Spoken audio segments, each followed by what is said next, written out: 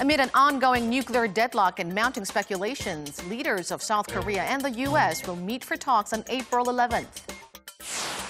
South Korea welcomes in two F 35A stealth fighter jets to its fleet, becoming the eighth country in the world to have acquired combat planes that can evade radar detection.